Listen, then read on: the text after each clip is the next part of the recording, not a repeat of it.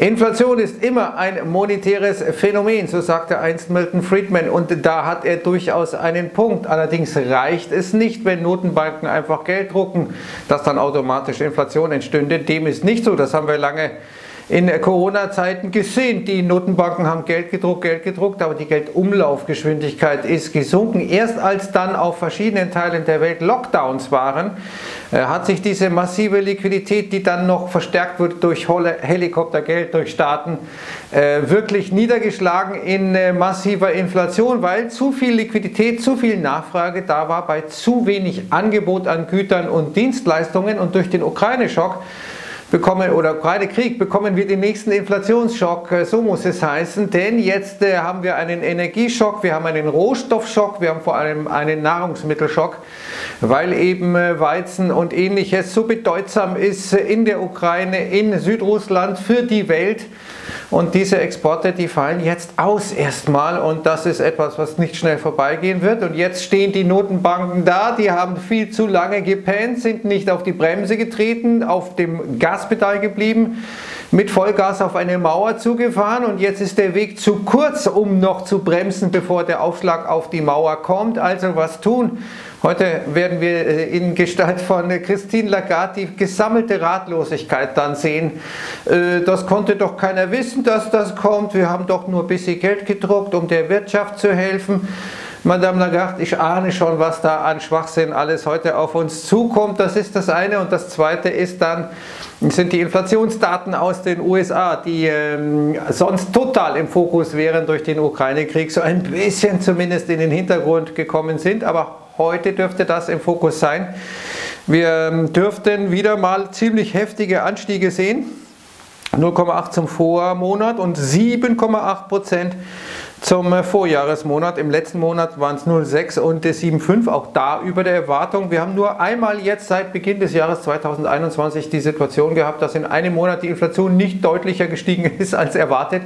Inflation Surprise Index äh, schießt durch die Decke. Jetzt hat das Weiße Haus fast schon rituell in ähm, Gestalt von ähm, Pressesprecher Psaki gesagt, ja, wir äh, erwarten eine sehr hohe Headline.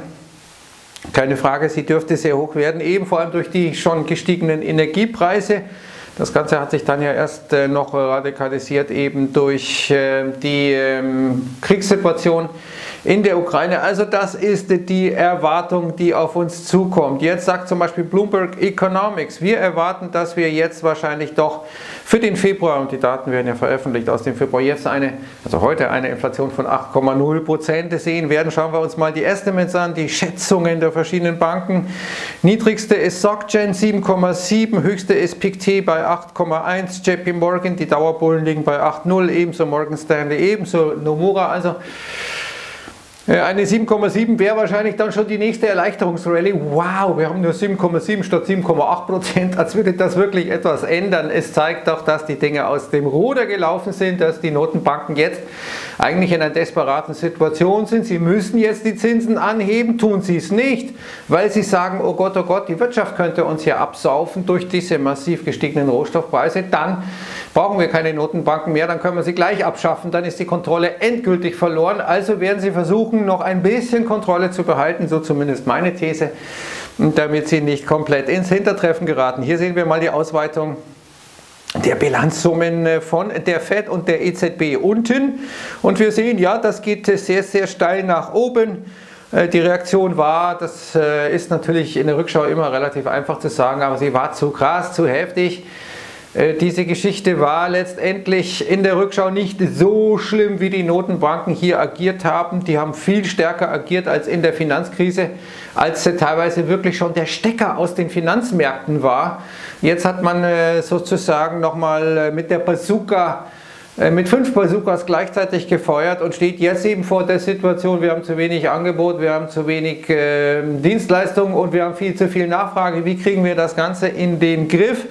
Und äh, das wird uns äh, Madame Lagarde heute erklären müssen. Oh, das konnte keiner vorhersehen, äh, dass wir drucken Geld und plötzlich haben wir Inflation, aber die ist vorübergehend. Wir erwarten in äh, Jahr 3049, dass die Inflation wieder in Richtung 2% sinken könnte. Und das ist eine gute Nachricht. Naja, wahrscheinlich wird es äh, so kommen. Also es ist natürlich, äh, was soll sie da sagen?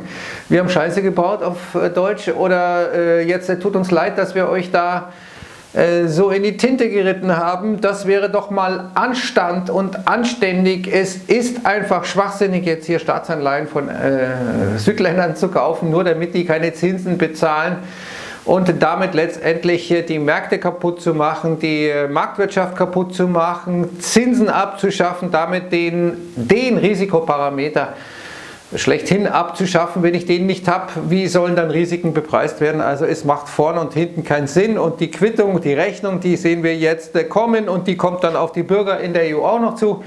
Äh, hier sagt ähm, Morgans, äh, JP Morgan, 550 Milliarden Dollar mal obendrauf jetzt durch den Ukraine-Krieg, nicht schlecht. Wir hatten ja vorher schon massiv steigende äh, Gas- und Benzinpreise. Das wird sich jetzt alles radikalisieren, auch wenn äh, Öl gestern gefallen ist. Dazu gleich mehr. Jetzt sagt Sven Henrik, der ist ein Skeptiker äh, was die Notenbanken betrifft und sagt hier, naja, also die Fed will Zinsen anheben, aber guckt euch die Market Volatility an. Die Fed hasst Volatilität, die Fed hasst Uncertainty und jetzt die Geldpolitik äh, zu straffen in so, einem, in so einer Situation, das würde gegen die ähm, Kern-DNA der Fed gehen. Ähm, wann hat die Fed zuletzt äh, Zinsen angehoben, wenn der WIX im äh, Bereich über 30 war? Fragt hier Sven Henrik. Ich bin hier nicht seiner Meinung ausnahmsweise. Warum? Weil Joe Biden den Auftrag gegeben hat an Jerome Powell, Bekämpfe mir die Inflation, das ist jetzt die Priorität. Das hat Biden öfter gesagt, das hat Paul öfter gesagt. Und sei der WIX über 30 und sei die Situation, wie sie jetzt ist, die Fed muss etwas tun und sie wird etwas tun. Dementsprechend, äh, wie gesagt, bin ich hier mal nicht im Camp von äh, Sven Hendrick. Hinzu kommt, und das sehen wir hier bei den äh, Consumer Companies, also bei den Firmen, die äh, Güter für Konsumenten herstellen, jetzt nicht nur für andere Firmen, da sehen wir, dass es denen schon gelungen ist, die Preise anzuheben. Aber da ist jetzt nicht mehr so viel Luft nach oben. Die haben schon wahnsinnig viel Potenzial ausgeschöpft. Äh, da ist das Limit nicht mehr weit, wo dann die Konsumenten sagen, nee, also dann kaufe ich das nicht mehr, dann will ich das nicht mehr. Und das stellt dann eben die äh, Bewertungsfrage, wie hier ein Artikel zeigt. Das ist eben der Punkt, dass jetzt irgendwann Schluss ist mit äh, weiteren Preissteigerungen, weil dann einfach der Bogen überspannt ist. Äh, haben die Aktienmärkte gestern den Bogen überspannt? Rabobank. Ich hatte ja gestern dieses Video gemacht. Glauben Sie wirklich an diese Rallye, in der ich versucht habe, in dem ich versucht habe zu zeigen, dass es sehr unrealistisch ist, dass da eine Friedenslösung jetzt kommt zwischen der Ukraine und Russland? Dazu gleich mehr. Rabobank hat jedenfalls zur Rallye gesagt: Lasst uns klar sein, diese Rallye war about options, hedging, short squeezes, not new developments in the war or energy markets. Exactly the point, uh, Rabo. Es hat nichts mit der Ukraine zu tun, zumindest gibt es da keinen sachlichen Anhalt, sondern das war Mechanik, Marktmechanik, die vor allem im äh, Optionsbereich äh, so passiert ist.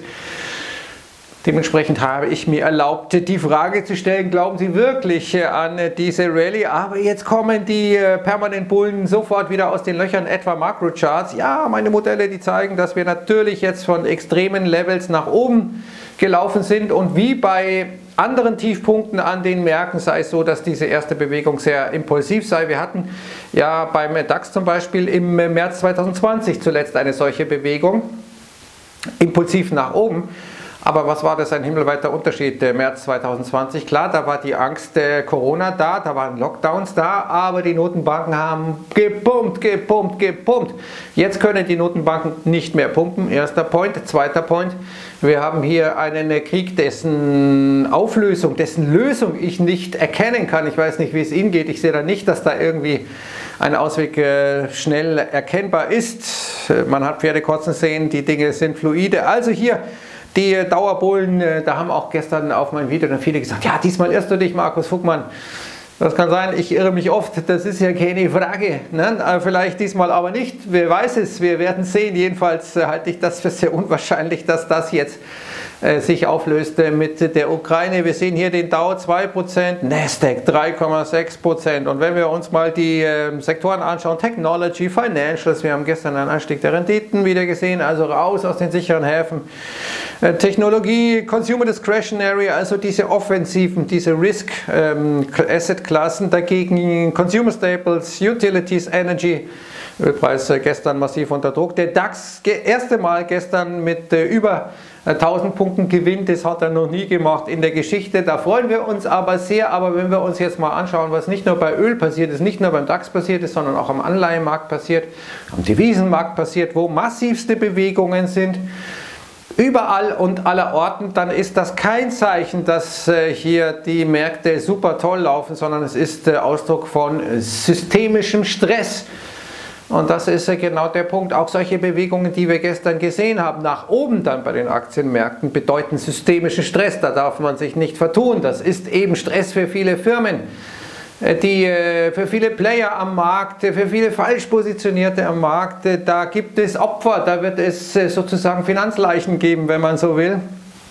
Und äh, hier interessant noch eine Meldung von gestern Abend wäre jetzt wahrscheinlich eine Headline ohne diese ganze Ukraine-Thematik. Äh, Amazon hat einen 20 zu 1 Stock-Split jetzt äh, gestern Abend verkündet und nebenbei gesagt, äh, praktisch einmal äh, ein Buyback von 10 Milliarden Dollar, kaufen also eigene Aktien zurück und jetzt äh, fragt man sich ja natürlich, warum geht dann die Aktie nach oben? Ist ja völlig logisch, gell? weil jemand, der eine Aktie hatte, der hat jetzt 20 und das ist doch super. Ne?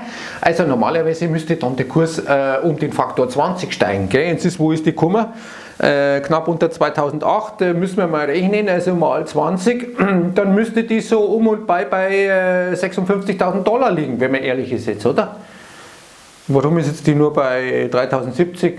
ja, das weiß ich nicht. Das, die wird vielleicht heute dann auf 56.000 Dollar steigen. Das ist eine Frage der Zeit aus meiner Sicht. Und insgesamt ist es ja auch mit den Aktien immer eine Frage der Zeit, bis man da Gewinne hat. Gell? Äh, Aktien sind ja so eine Art, wie soll man sagen, ähm, Selbstbereicherungsmechanismus, der immer funktioniert. Das ist eine super Erfindung eigentlich, gell? wenn etwas irgendwo immer funktioniert. Und so hat jetzt die Bank of America herausgefunden, dass die Wahrscheinlichkeit, dass man Geld verliert äh, im Aktienmarkt äh, sogar schlechter ist äh, einen Tag, als wenn man eine Münze wirft, nämlich 46 Prozent, aber in zehn Jahren nur 6 Prozent. Okay, jetzt haben wir natürlich teilweise sehr nette Phasen gehabt in der Geschichte und vielleicht kommen wir jetzt in etwas weniger nette, eben durch Inflation, durch höhere Zinsen wieder, weil die Notenbanken reagieren müssen. Aber sei es drum, also das ist auf jeden Fall mal was für die Bullen, meine Damen und Herren, damit die eine Freude haben. Jetzt kommen wir mal zu dieser ganzen Ölthematik. Es ist schon erstaunlich, wie jetzt die beiden Administrationen praktisch geflippt ist. Vorher waren die ja sehr umweltbewusst, gell, und jetzt äh, haben sie gesagt, we need oil and gas production to rise, nachdem die Fracking-Firmen gesagt haben, äh, wir können gar nicht, weil wir praktisch ja politisch so stark behindert wurden, Probleme hatten, an Geld zu kommen.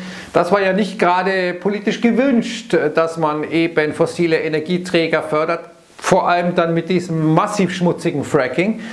Äh, dementsprechend jetzt die beiden Administrationen, ja wie jetzt, ihr könnt die Produktion nicht anheben, weil wir vorher die Regularien äh, äh, praktisch äh, verändert haben, könnt ihr jetzt die Produktion nicht anheben. Ne? Ja, wenn es äh, jetzt äh, kein, äh, kein Brötchen gibt, dann fresst halt einen Kuchen. Ne? Das ist ja klar. Also da muss man schon einmal fragen. Öl, wir sehen wir hier natürlich massiv überspannt. Ich hatte das gestern im Videoausblick schon gesagt. Sowohl Öl als auch Gold. Öl vor allem mit einem ESI, der schon jenseits der Wahrnehmbarkeit war. Und dann passieren solche Dinge, diese massive rote Kerze durch, wie soll man sagen, Fake-Meldungen ist vielleicht zu viel gesagt, wir kommen gleich dazu. Price Stability ist äh, hier zum Beispiel der Titel für diesen Chart European Diesel Futures. Wir sehen, wie es da zur Sache geht, äh, aber schauen wir uns jetzt mal die Nachrichtenlage an. Äh, die Ukraine hat gesagt, wir werden keinerlei Gebiete abtreten. Aha, also auch nicht Krim und auch nicht Donbass. Äh, jetzt äh, hat die russische Delegation schon vorab sagen lassen, wir werden bei den Friedensgesprächen not concede anything, also in keiner Form nachgeben. Das ist, da werde ich ja super optimistisch für diese Friedensgespräche, die heute ja in der Türkei stattfinden. Und äh, Jetzt hat äh, das Weiße Haus, aus, Weiße Haus übrigens auch Russland gewarnt, hier chemische Waffen einzusetzen in der Ukraine. Äh, die USA haben jetzt 13,6 äh, Milliarden Dollar an Hilfsgeldern bewilligt im Kongress an die Ukraine. Und äh, wir sehen ja jetzt, dass die Russen sozusagen westliche Firmen verstaatlichen, nachdem die äh, praktisch ihr Geschäft dort einstellen. McDonald's sagt, das kostet uns jeden Tag 50 Millionen Dollar.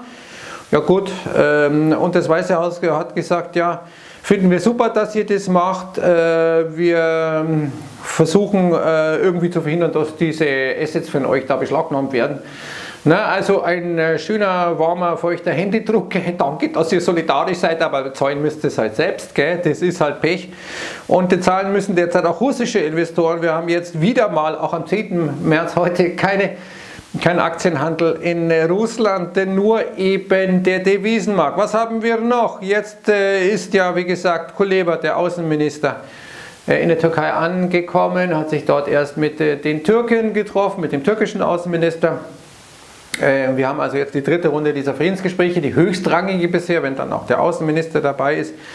Und äh, jetzt sagen viele Menschen, Xi Jinping wäre doch eigentlich derjenige, der als Vermittler hier in Frage käme, denn die Chinesen werden jetzt auch nicht begeistert sein durch das, was an den Rohstoffmärkten passiert, durch dieses Chaos, das da passiert. Da ist China ja selbst in einer durchaus schwierigen Situation mit seiner Immobilienkrise mit seinem sehr, sehr schwachen Wachstum. Also vielleicht könnte da was kommen. Jedenfalls sehen wir, dass jetzt der VW-Chef schon gewarnt hat, dies, äh, dass äh, die Schäden durch diesen Ukraine-Krieg stärker ausfallen könnten als durch die Pandemie. Aha, wir werden also jetzt praktisch schon Vergleichs- und Schadensvergleich bald bekommen. Pandemie gegen äh, Russlandkrieg. Wir sehen zum Beispiel in Nigeria, jetzt mal off topic so ein bisschen, aber da ist das erste, oder sehen wir jetzt erste Anzeichen von Problemen eben in äh, praktisch Schwellenländern, wenn man so will.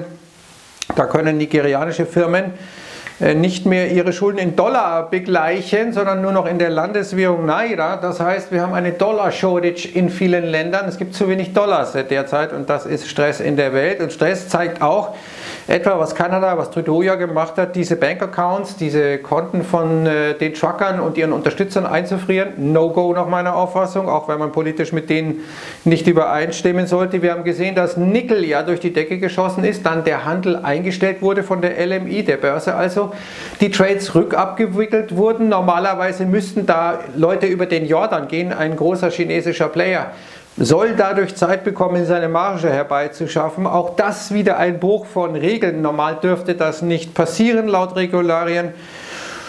Und äh, was haben wir noch? Ähm, es werden internationale Reserve Assets eingefroren. Also die ähm, Amerikaner beschlagnahmen ja auch äh, praktisch die Goldbestände der Russen etc. etc. Die Russen beschlagnahmen amerikanische Eigentümer. Also es ist äh, sozusagen eine permanente Situation des Rechtsbruches und wie heute die Dinge ausgehen werden. Wir haben 14,30 die ähm, CPI-Daten aus den USA, also Inflation. Wir haben dann 13,45 die EZB-Entscheidung, was sollen die schon entscheiden? Nix, also wird 14,30 dann die Pressekonferenz im Vordergrund stehen. Also 14,30, meine Damen und Herren, ist ein absolutes Muss heute, dass Sie da reinschauen bei finanzmarktwelt.de. Sie können aber gleich damit anfangen mit dem Artikel Inflation, Stagflation und das große Risiko für Investoren wo ein sehr, sehr präziser, guter Gesamtüberblick über die derzeitige Lage gegeben wird, werde ich unter dem Video verlinken und wünsche jetzt das Allerbeste. Wir sehen uns hoffentlich 14.30 Uhr heute bei finanzmarktwelt.de und später beim Markeflüster. Servus und ciao.